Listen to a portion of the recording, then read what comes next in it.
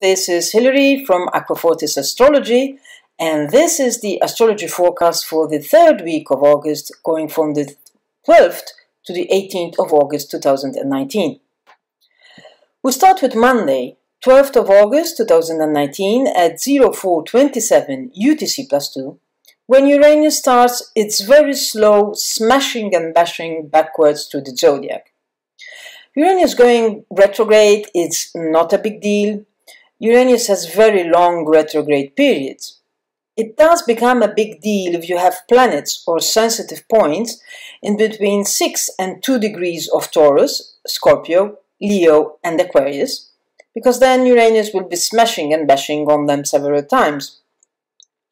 Uranus returns direct on the 9th of January 2020. Before I continue with the forecast, I would like to point out something important that is happening.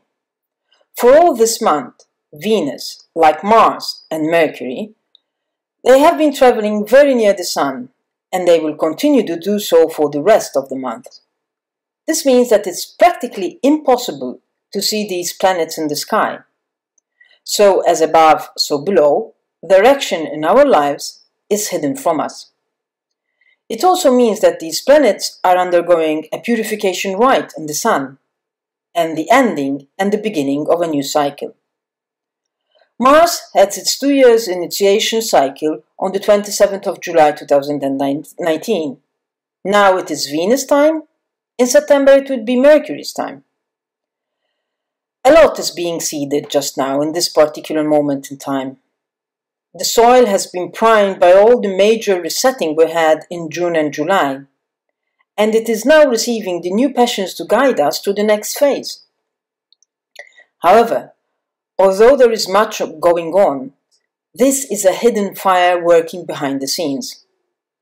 Bearing in mind that Mars is how we take action in life, Venus is how we attract things to us, and Mercury is how we think.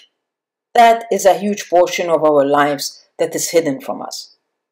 So if you can't understand something, take your time. Things will become clearer as the month proceeds. So coming back to what's happening in this week. On the 14th of August 2019, Venus will be meeting the Sun at 0807 UTC plus 2 at 2111 of Leo. Venus has now finished its purification rites and meets the heart of the Sun to receive new instructions. Use the 14th of August to seed something that you would like to attract in your life and see it flourishing in the following months. On the 15th of August 2019, we have two events. The first one is Mercury finishing completely the area of the zodiac that has been going up and down and starts moving, finally, into new areas. This means we have completely done and dusted the June-July 2019 problems, or at least a part of them, and ready to move forward. The second event is the full moon in Aquarius at 1430 UTC plus 2 at 22 degrees 24 of Aquarius. Moon in Aquarius is a moon that finds himself in some awkward positions. Under Saturn's household, logic is what is looked at first and logic is not really Moon's favorite thing to do. Saturn, the household ruler, although happy to be in his house, he is sharing the bed with the lunar nodes and Pluto in Capricorn, and they are not great company at all. So the other Saturn's household, that is Aquarius, where the moon is passing, it's not having a happy time either, and this increases the moon's discomfort. The moon finds himself being pulled to see what's on the other side by Mercury, Sun, Venus, and Mars in Leo. Mercury is how we communicate and think. Sun is how we look and perceive life. Venus is how we bring together things. And Mars is how we take action. All these parts of our lives are radiating light and fire all over the place. But to bring something to completion, we need to integrate what the moon in Aquarius is trying to say, even if we might not like it. Keep in mind what we have said before. A huge portion of our lives just now are in frenetic motion, but the road is not clear at all. This makes even more awkward the integration needed. it is easy to give in to the enthusiasm of fire and forgetting that there are things we still do need to work on. The full moon in Aquarius is reminding us that it is tough applying discipline when we just want to run with it all. It is a delicate balance between having faith in ourselves, be ready to shine our light into the world, yet knowing that the universe has its own schedule and things will happen when it is due time. On the 16th of August 2019 at 1907 UTC plus 2, Mercury in Leo and Uranus in Taurus have a quarrel. There is something we are adamant about that is being challenged by change. Since Mercury is involved, it may be something that has to do with our thought patterns. Being in Leo, fixed fires, we are talking about thought patterns we feel very strongly about and are, we are not keen to change them at all.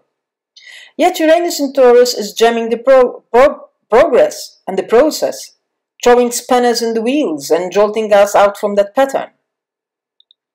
Uranus in Taurus is saying to Mercury in Leo, think practical and down to earth and down the, downright bizarre. Not an easy one, but the more we resist, the worse it becomes. On the 18th of August 2019 at 0718 UCT plus 2, Mars is the first one, as usual, to enter the house of Virgo. This changes completely our mode of action in the world. Mars is, I want that, I go and get it. Under the rule of Mercury, in a practical, ever-changing Virgo, this Mars becomes a fine tool of precision that can chisel away what is superfluous until what makes sense comes out. With the entry of Mars in Virgo, we are entering a new phase of the month, where the fire slowly settles down to a more problem-solving oriented energy. That will also be getting the make it different call from Uranus and Taurus. So to summarize, this week will help us define some things in our lives, especially long-term projects that we really value. Not everything is smooth sailing, but we feel that there is a force that is sustaining us, although things are not clear completely. There is a lot of work to do, but in our hearts we can feel that we are on the right track. Blessed full moon in Aquarius, and happy holidays for those who are in the holiday season. Should you need any guidance of how to navigate these energies, I'm available for private consultations. Before you go, let me know what you think, thumbs up, share and subscribe to my page. Bye for now and good luck. Bye bye.